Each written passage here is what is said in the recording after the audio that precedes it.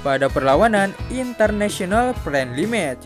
Johor Darul Tajim akan menghadapi klub Liga Spanyol yaitu Real Murcia. Perlawanan ini sendiri akan dihelat di Stadion Nueva Condomina pada hari Rabu 17 April 2024 pukul 6 petang. Ayo pasukan Johor Darul Tajim, luaskan kuasamu.